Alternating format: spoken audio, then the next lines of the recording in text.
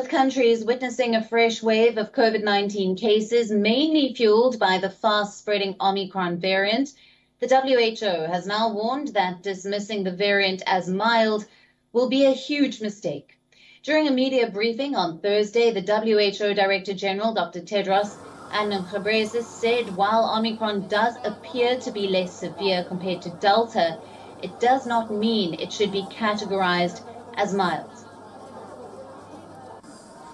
While Omicron does appear to be less severe compared to Delta, especially in those vaccinated, it does not mean it should be categorized as mild. Just like previous variants, Omicron is hospitalizing people and it's killing people. The warning came as the world witnessed a record 71% surge in the weekly count of infections. The WHO said on Thursday that nearly 9.5 million cases of COVID have been reported over the last week. Tedros used his first speech of 2022 to slam the way developed countries have hogged available vaccine doses last year, saying it had created the perfect breeding ground for the emergence of new mutant variants.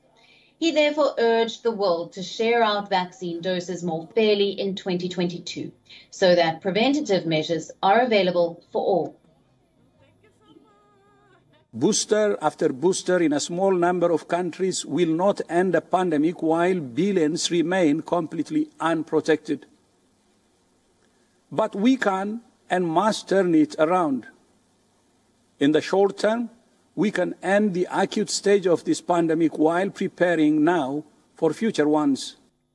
We are now available in your country. Download the app now. Get all the news on the move.